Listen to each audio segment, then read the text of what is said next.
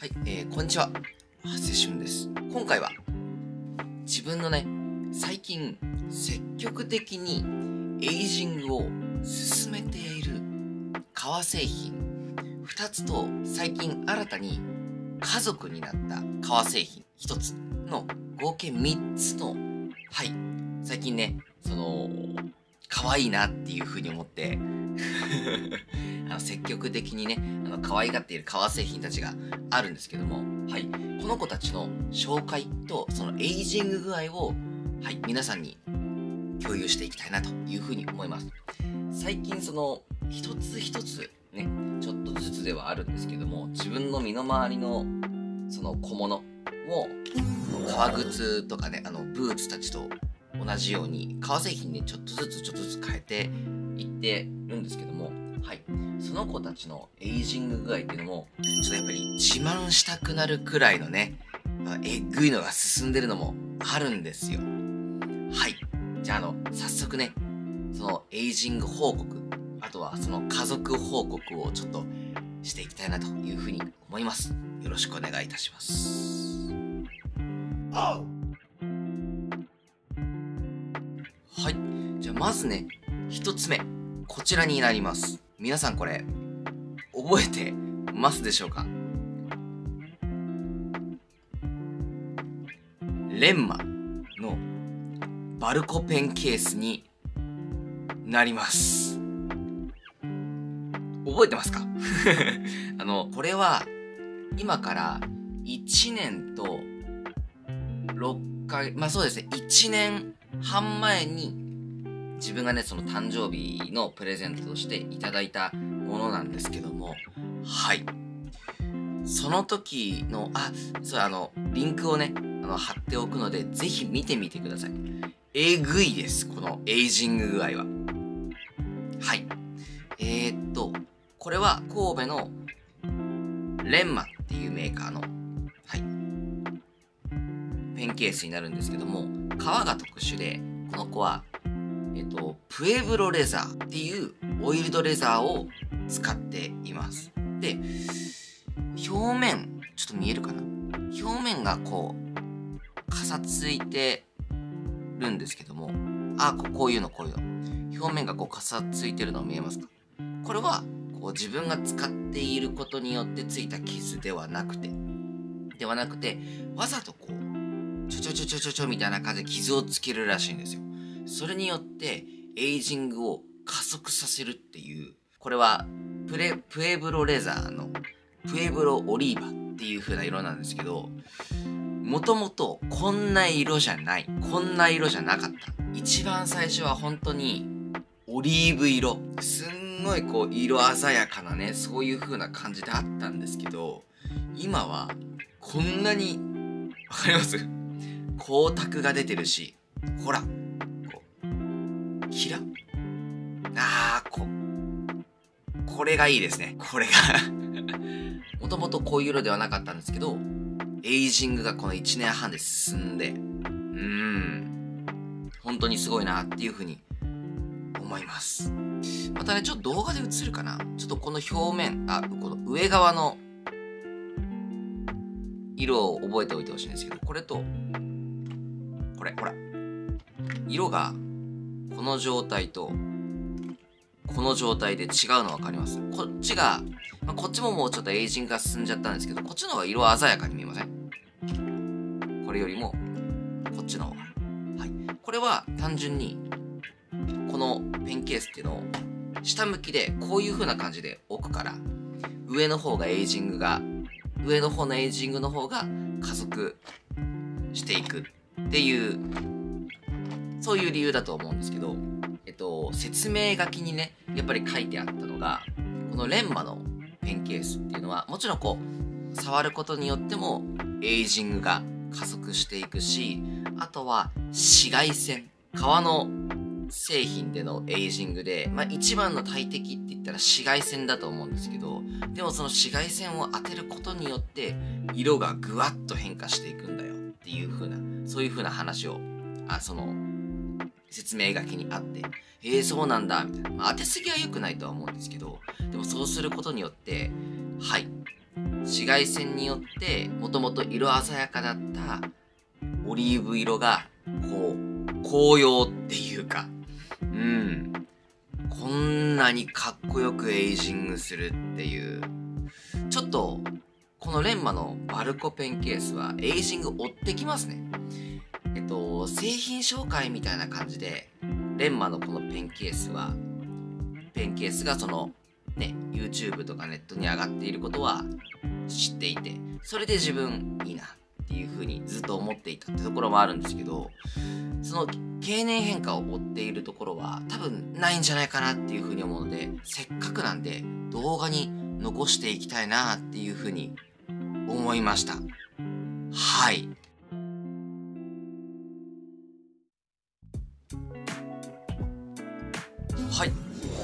次はこちらのマークライトのコインケースに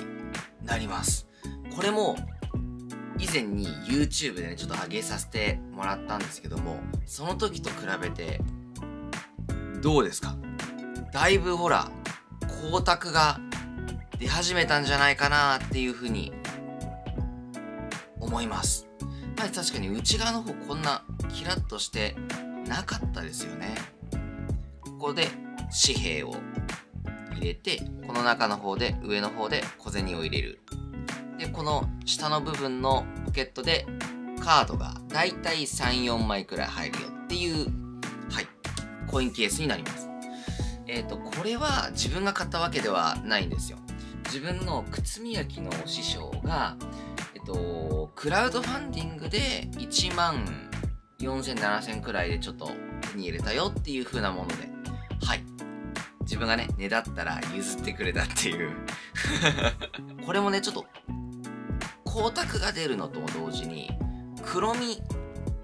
がかってるんじゃないかな。ほらちょっとこう角の方とかわかるかな？あーそうそうそうそう。ほら光沢と同時に黒みがかっ色がどんどんどんどん濃くなっているっていう風な状態なんですけど、まあ、これはなんでかっていうと積極的にこうね バルコペンケースと同じようにこう積極的にお触りをねしていくのと同時にあとは最近エイジングを無理やり加速させたくてジーンズの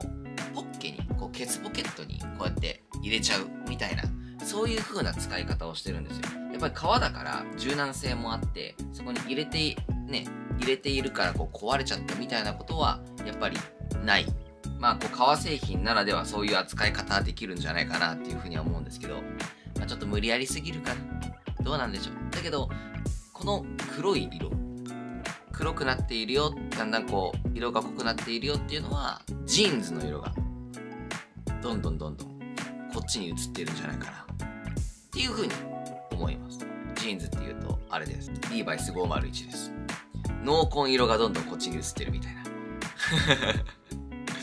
はいとりあえず直近ではこの子もねこの子のね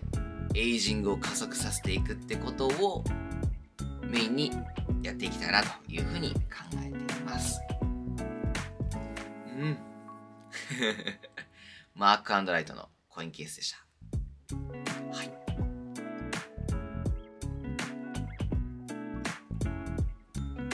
はい、ちょっと語らせてください。皆さん、経年変化と経年劣化の違いって考えたことありますか？多分経年変化と経年劣化。おそらく日本語としての意味っていうのはそ本当に日本語としての意味では多分差はないんじゃないかな。っていうふうに思うんですけど視聴者の皆さんとかあと革製品ブーツとかそういうのが好きだよっていう人にとっては経年劣化と経年変化って多分違う扱いをしていると思うんですよね。自分の解釈としてちょっとそこには微妙な差があると思うんですよ。変化と劣化っていう風に言うくらいです。経年変化は時間が経つことによってこう自然な自然な変化を指していますよみたいな。例えば木材とかが年月をこうどんどんあの時間が経っていくと色とか質感っていうのが変化すること経年劣化の方っていうのは時間が経つことによって故障につながるようなっていう風に解釈してるんですよ。はい。経年変化はこう自然的な過程であって経年劣化は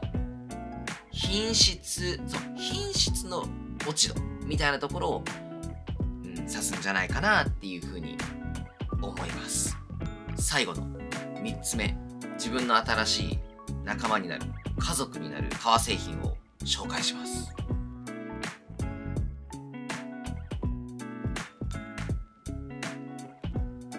ココマイスターの長財布になります。えっと皆さんココマイスターってご存知ですか？いや言うまでもなくてねうんココマイスターを知らない人はいらいないんじゃないかないないんじゃないかなっていうふうに思うんですけどもココマイスターは日本製のハイエンド革製品ブランドです。はい。特に今ここにあるのはコードバンの長財布になります。で、まあ、ちょっとね、あの、一瞬気づいたんじゃないかなっていうふうに思うんですけど、これ、エイジングがすでに進んでいるものなんですよ。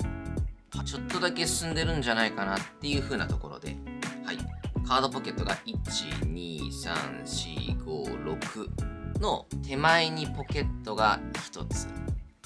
ケットが1つと奥にもう1つ。あちょっとお金入って手前に1つ。であとは上の方にもポケットが12と入っているっていう風な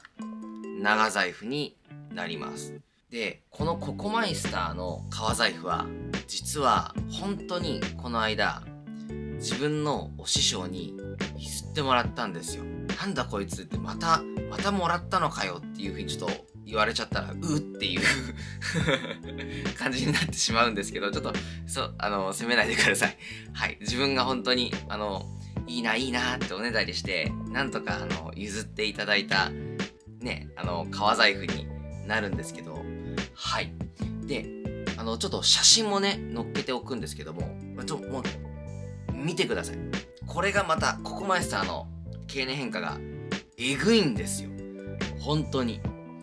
一番最初はこういう風に全く光沢がない。ないですよね。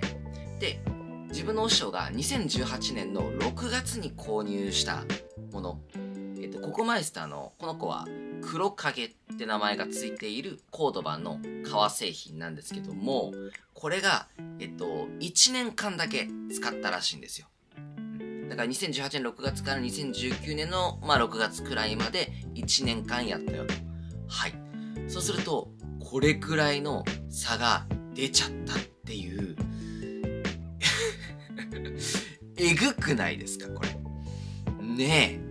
すっごい、うわ、コードバンやばっていう風に思って、自分も、あの、オールデン、グラントラストのブーツを1足持ってはいるんですけど、もともとある程度の光沢があるじゃないですか。だけど、そうじゃなくって、この子は、この子は、最初はそう、こう、肝をしてるじゃないですけど、全然光沢がない状態からエイジングを進ませることによってこれほど変わっていくっていういやーどうしたらこれくらいまでのエイジング進むのっていう風な話も聞きました。特定のクリーム一つだけ使ってたらしいです。こちらになります。長谷川屋のコード版専用クリーム。コード版専用ワックスです。もう油脂とローだけ。で、えー、っと、有限会社レーデロー川さんが出している長谷川屋ワックスなんですけども、はい。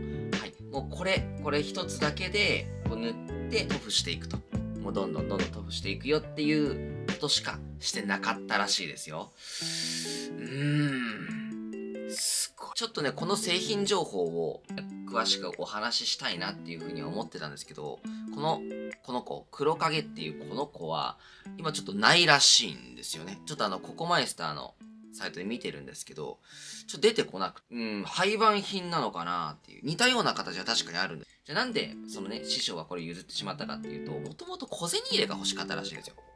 で、小銭入れもついてる長財布。自分の、でいうところの、このバンタスのお財布みたいなものですよね。小銭入れもついていて、お札も入るっていう、今はなかなか見ない超極厚財布です。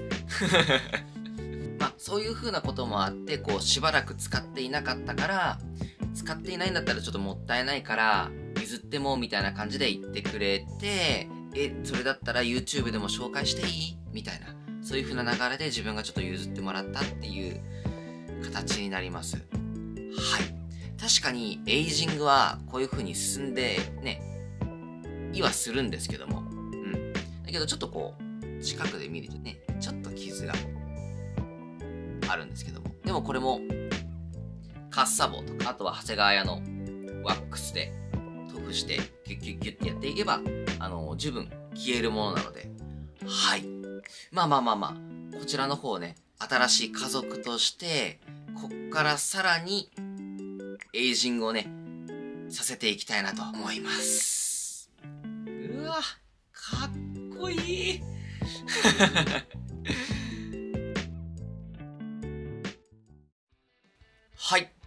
えーいかがだったでしょうか？うん。えっと、そうですね、他にもね、いろいろ紹介したい、これくらいエイジング進んだよ、みたいな動画も、あの、革製品も紹介していきたいなっていうふうに思うんですけど、とりあえず今日は3つまでで、3つまででちょっと、あのー置いておきたいなっていうふうに思います。で、やっぱりね、こうやって並べてみると、その革製品のエイジングってやっぱり美しいなっていうふうに思いますよね。でやっぱりこの経年変化経年劣化じゃなくて経年変化が美しい綺麗だなっていう感じる理由っていうのは確かにこの自然の流れの中での質感とか質感とか色の色味の変化っていうのを楽しむっていうのもあるとは思うんです刻まれるものがあって質感と色味以外にもあとは物語っていうかストーリーが刻まれるっていうところがやっぱり美しいなかっこいいな可愛いなっていう風に感じることだと思うんですね。それがやっぱりエイジングっていうのの醍醐味なんじゃないかなっていう風に思うんですけど。はい。なのでそのいやこれはエイジング完成しきっちゃってるんだよねみたいなブーツもブーツとかね革製品とかねそういうのもあるとは思うんですけど物語だけをねこれからもどんどん刻めるわけじゃないですか。はい。まあそういう風なところも含めてはい。この子たちはね、まあ、新しく家族に入ったこの子も含めてどんどんエイジングを思い出を刻んでいきたいなというふうに思います。はい。最後までご視聴いただきありがとうございます。チャンネル登録高評価コメントよろしくお願いいたします。